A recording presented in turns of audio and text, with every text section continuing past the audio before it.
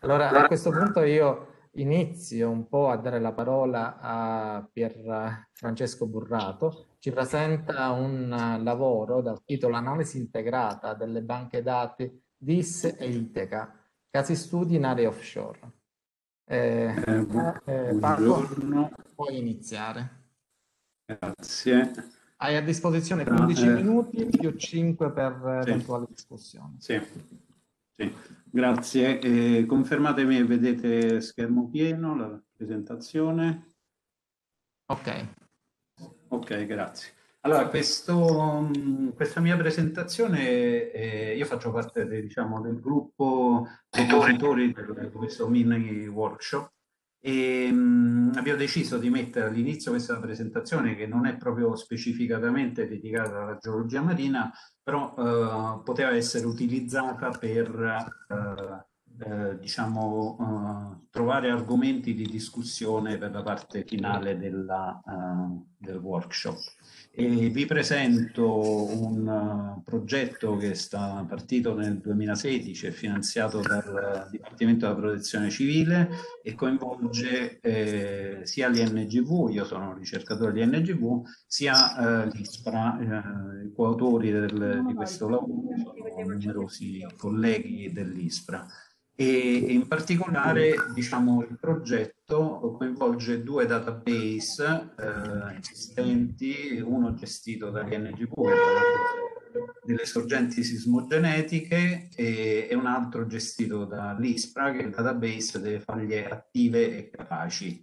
E questi due database hanno delle affinità fra di loro, eh, hanno delle somiglianze ma anche delle differenze e mh, sostanzialmente sono principalmente utilizzati l'uno, eh, parlo del DIS per diciamo eh, dati di input per la pericolosità sismica, mentre eh, Itaca è utilizzato soprattutto per, come dati di input per eh, la pericolosità da fagliazione eh, superficiale. E I database ovviamente nascono a terra perché diciamo, studi di tettonica attiva uh, nascono sulla terra perché eh, sono in Italia soprattutto a seguito del terremoto del 1980 perché ovviamente l'ambiente è quello più facile da esplorare anche quello uh, meno uh, come si dice, eh, meno, sono studi meno costosi rispetto agli studi da effettuare nell'offshore, però ovviamente eh, vedremo che eh, questi database interessano anche aree marine, aree eh, completamente offshore oppure aree marine costiere, eh, interagiscono con infrastrutture, potrebbero interagire, gli elementi dei due database potrebbero interagire con infrastrutture sia costiere sia offshore. Per cui è importante eh, sviluppare una relazione fra Uh, questi due database e la comunità uh, di geologi marini con cui diciamo presente oggi alla, uh, a questo workshop. E, um, I due database sono raggiungibili dai loro siti internet, eh, non mi soffermo molto, ma penso che eh, quasi tutti eh, li conosciamo. E, um, quali sono gli oggetti contenuti, diciamo, nei due database? Allora, l'uno, eh, sorgenti sismogenetiche, per cui database DIS, eh, contiene eh, specificatamente delle faglie attive primarie in grado, ritenute in grado di generare terremoti di eh, magnitudo perlomeno 5,5, cioè terremoti in grado di eh, diciamo, dare un input nell'hazard sismico. E il database Itaca contiene non solo eh, diciamo, queste faglie primarie che poi possono essere eh, sorgenti sismogenetiche e nel caso eh, interagissero con la superficie eh, diventerebbero delle faglie capaci, la definizione faglia capace è quella di una faglia che è in grado di dislocare la superficie terrestre oppure di deformarla, cioè eh, generare eh, zone di sollevamento e di subsidenza. Il database Itaca per cui non contiene non solo uh, le tracce eh, delle faglie primarie, per cui sorgenti sismogenetiche, ma contiene anche tutta una pletora, una, una famiglia di faglie capaci, eh, faglie attive e capaci, eh, che però non sono sismogenetiche perché sono faglie secondarie, cioè possono essere delle strutture eh, collegate alla struttura principale, primaria, oppure possono essere anche strutture totalmente scollegate che si attivano con, durante i terremoti con vari eh, meccanismi. È importante conoscere queste faglie, anche se non generano terremoti, perché ovviamente loro possono interagire con le infrastrutture, infrastrutture che possono andare semplicemente eh, da una strada, oppure qua siamo nel caso della sequenza sismica del 2016, per esempio c'è una galleria eh, di una strada statale che è stata dislocata da una faglia secondaria. Oppure, come è successo per esempio nel caso del um, 2009, il terremoto dell'Aquila, eh, una faglia la faglia primaria ha dislocato una condotta di uh, un acquedotto, dell'acquedotto del Gran Sasso, generando diciamo, un danno abbastanza notevole. E le faglie, eh, mentre diciamo, per le faglie primarie considerate sorgenti sismogenetiche, eh, il meccanismo di attivazione è il meccanismo di tipo tettonico, per cui c'è il carico tettonico, eh, queste faglie arrivano a rottura, si muovono e generano il terremoto.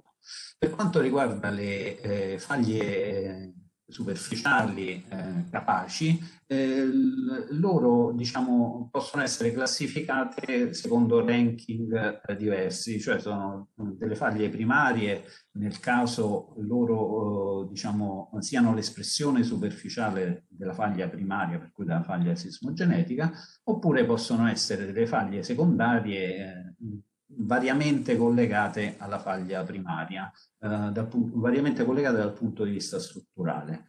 E appartengono alle faglie capaci anche tutta un'altra serie di faglie, per esempio possono esserci delle faglie ereditate che si riattivano eh, durante i terremoti a causa del campo di deformazione, delle faglie che si riattivano con uh, meccanismi bending moment oppure con rottura simpatetica oppure anche rotture indotte dallo scuotimento, per cui c'è dal passaggio delle eh, eh, onde sismiche. Eh, nel DIS, ricordiamoci, eh, il DIS contiene solamente eh, le faglie ritenute di ordine gerarchico principale, perché sono quelle eh, che generano terremoti, mentre Itaca contiene tutte e due, eh, tutti gli ordini gerarchici. Questo termine gerarchia poi ricorrerà in questa presentazione perché per noi è un aspetto importante per lo studio delle faglie attive e mh, il frutto dell'attività diciamo, di, questo, di questo progetto ha portato allo sviluppo di un visualizzatore web dove eh, riportiamo sia le sorgenti sismogenetiche del DIS, rappresentate qua in arancione, sia le faglie attive capaci di Itaca, rappresentate con due colorazioni di blu e di verde. E qual è la differenza? La differenza è che eh, le faglie verdi, relative capaci di Itaca verdi, sono le faglie che sono collegate eh, in qualche maniera strutturalmente o cinematicamente alla, alle sorgenti sismogenetiche, per cui eh, sono ritenute in grado di eh, riattivarsi nel momento che la sorgente sismogenetica considerata genera eh, il terremoto. L'obiettivo proprio del, di questo progetto era quello di trovare le relazioni fra agenti sismogenetiche e queste eh, faglie attive e capaci. E, mh, con quale approccio diciamo, abbiamo definito queste relazioni fra uh, faglie attive e capaci e sorgente sismogenetica? E qua vediamo un esempio del centro Italia in cui è rappresentata la sorgente sismogenetica del, del Fucino del 1915 con tutta eh, diciamo, famiglia di faglie attive e capaci mappate nel corso degli anni in quest'area. Eh, come abbiamo collegato, diciamo, eh, eh, come abbiamo cercato di capire quale di queste faglie attive e capaci è collegata alla sorgente sismogenetica per quella faglia eh, principale? Eh, utilizzando diciamo, diversi approcci, però alla fine l'approccio diciamo, vincente è stato quello dell'utilizzo di relazioni empiriche. Eh, relazioni empiriche che sostanzialmente sono, derivano dall'osservazione di eh, fagliazione superficiale avvenuta in, in occorrenza di eh, terremoti. Per cui si è visto che eh, durante terremoti eh, generate da faglie con diversa cinematica, non solo c'era la possibilità che la faglia principale venisse in superficie, ma eh, c'era anche la possibilità diciamo, che tutta una serie di faglie secondarie si, eh, si, attivate, eh, si attivassero. In particolare queste relazioni empiriche sono state sviluppate a scala globale considerando diversa cinematica delle, uh, faglie, per cui abbiamo relazioni empiriche per eh, faglie trascorrenti eh, e relazioni empiriche diciamo, per faglie normali distensive e faglie inverse. Eh, la differenza diciamo è fra eh, che eh, faglie inverse e faglie normali sono considerate delle faglie deep sleep, cioè delle faglie eh, con un certo angolo di immersione, per cui si considerano tutti e due blocchi eh, diciamo separati dall'emersione della faglia principale. E, mentre le faglie trascorrenti sono faglie ad alto angolo, per cui le relazioni empiriche mostrano che la probabilità di fagliazione eh, è uguale nei due blocchi, cioè diciamo copre delle aree eh, di stessa estensione sia nel blocco, diciamo, esempio per la mattinata, faglia mattinata del blocco nord. E cosa mostrano queste relazioni? Mostrano eh, diciamo, delle curve in cui l'asse orizzontale rappresenta la distanza dall'emersione della, della faglia principale e, e, sostanzialmente è una curva in cui c'è la probabilità di eh, occorrenza di fagliazione superficiale durante terremoti.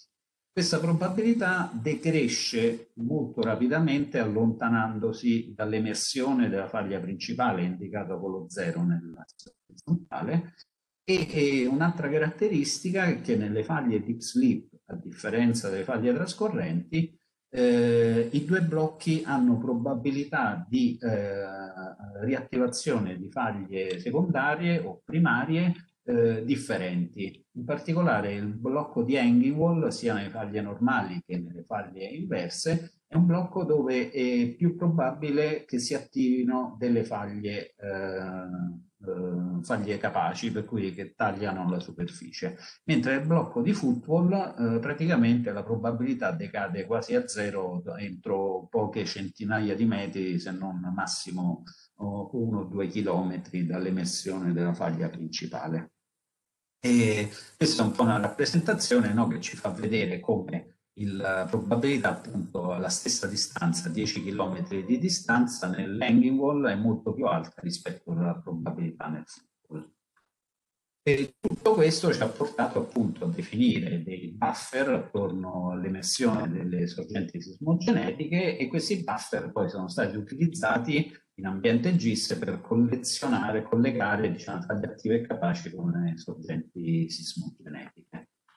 E uno sviluppo che tenteremo di fare, questo è per esempio una rappresentazione della probabilità di riattivazione, vedete che eh, la probabilità no, eh, collegata al colore, del rosso nell'handball e blu nel football, e vedete come allontanandosi sostanzialmente dall'emersione della faglia principale rappresentata dal rettangolo giallo, la probabilità decresce eh, rapidamente, diciamo, con la distanza.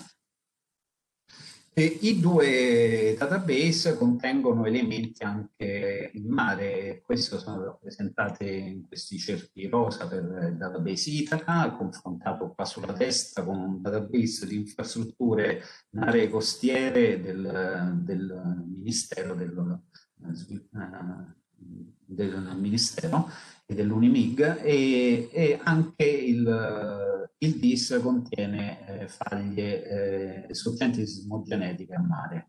Per cui questo problema diciamo, di mappare sorgenti sismogenetiche eh, e faglie attive e capaci esiste anche eh, diciamo, nell'area marine, proprio perché eh, per la conformazione eh, diciamo, della, della nostra penisola sorgenti sismogenetiche ma anche faglie capaci vengono utilizzate per esempio nel modeling degli, dell'hazard da tsunami. 5 minuti Paolo. Da dove possono venire diciamo, possibili fonti di aggiornamento per i due database? E qua una brevissima carrellata di alcuni progetti, abbiamo per esempio la, scala, la carta geologica dei mari italiani, eh, il progetto Magic, eh, vedete, sono tutti comunque diciamo, progetti che non hanno una copertura completa dell'area, delle aree offshore italiane. Eh, ultimamente c'è stato il progetto Spot che è stato proprio concentrato su una, alcune zone eh, caratterizzate dalla presenza di eh, infrastrutture. Eh, aggiornamenti possono venire anche da lavori singoli, per cui abbiamo per esempio dei, delle crociere oceanografiche che poi arrivano a pubblicare i loro dati e possono fornire dei, eh, dei contributi per diciamo, la conoscenza delle faglie eh, attive e capaci, ma anche delle sorgenti di sismogenetiche in aree eh, offshore. Eh, in conclusione, diciamo, eh, studi di tettonica, qual è la differenza fra gli studi sviluppati a terra e studi sviluppati a mare? E principalmente gli studi eh, sviluppati a terra eh, si basano diciamo, su rilevamenti diretti di campagna, eh, usano uh, in maniera limitata la geofisica, usano molto la morfotettonica, per cui l'analisi di come la geomorfologia uh, diciamo, cambia a causa dell'azione delle strutture tettoniche e usa molto la paleosismologia e, e c'è una certa facilità diciamo, nel campionare di avere campioni con datazioni assolute. E d'altro lato, diciamo, a terra molto raramente si hanno sequenze sedimentarie eh, complete inoltre l'azione diciamo, degli agenti esogeni eh, maschera molto l'attività delle faglie. Qual è la conseguenza? La conseguenza è che, a differenza che a, che a mare, a terra generalmente prima di un terremoto è molto difficile mappare delle faglie attive e capaci, bisogna avere diciamo, un occhio molto, eh, molto specifico. A mare invece succede il contrario, si vede di tutto, per cui un rilievo geofisico fatto a mare eh, porta a diciamo, di molte strutture. La paleosismologia non è solo la pertinenza di terra, ma esiste anche la paleosismologia offshore, ovviamente sviluppata con eh, con metodologie diverse rispetto a quelle a terra ed è una, comunque una disciplina relativamente giovane. Il primo lavoro che diciamo, ho trovato risale più o meno al 2009, però potrei averne perse qualcun altro. Di solito è stato sviluppato in ambiente di zone di subduzione, per cui collegate ai grandi terremoti eh, di subduzione. E il problema della mappatura, vedete, eh, questa è una mappa che è un po' storta, eh, girata, comunque eh, la zona epicentrale del terremoto del 2016. Prima del terremoto sostanzialmente le mappe, le faglie attive capaci mappate erano queste due strutture evidenziate. Giorno del terremoto si sono attivate tutta una serie di faglie eh, secondarie, antitetiche, sintetiche, la struttura principale che nel complesso hanno formato quello che si chiama il distributed faulting. E... Sì, sto chiudendo. Eh, la differenza a mare è questa. Cioè, in un, questo è un, un esempio del Golfo di Santa Eufemia, eh, dove con, utilizzando diciamo, della sismica a multiscala si vedono strutture, molte strutture diciamo, con la sismica ad alta risoluzione e, e il numero di strutture man mano diciamo, eh, identificabili diminuisce andando con l'alta penetrazione. Combinando i due ovviamente si, eh, si determina che si possono trovare eh, ordini gerarchici delle faglie eh, diversi, strutture primarie, quelle fa, potrebbero fare terremoti, strutture secondarie oppure addirittura terzo ordine che comunque dislocano il fondo mare. Uno, una cosa interessante da discutere sarà uh, l'intervallo temporale delle attività delle faglie. Eh, considerate che nelle zone di interplacca uh, le faglie attive capaci, secondo la, le indicazioni della IAEA, sono quelle che dislocano orizzonti di età inferiore a 125.000 anni. A confronto qua abbiamo un esempio nel Mar Ionio dove con la sismica ad alta risoluzione si, eh, si riconoscono unconformity di età, eh, diciamo, numerose unconformity, per cui c'è un dettaglio eh, molto rilevante sul uh, possibile dettaglio sull'attività delle, delle faglie. E questa è l'ultima, slide che potrebbe essere utilizzata, diciamo, in conclusione della sessione per la discussione di un possibile approccio multiscala e multidisciplinare per parametrizzare geometricamente e cinematicamente sia le faglie eh, attive e capaci sia le sorgenti sismogenetiche. Non lo discuto adesso, magari lo possiamo ritirare fuori il uh, fine sessione. Questo è il gruppo di lavoro con cui collaboro sia del DIS che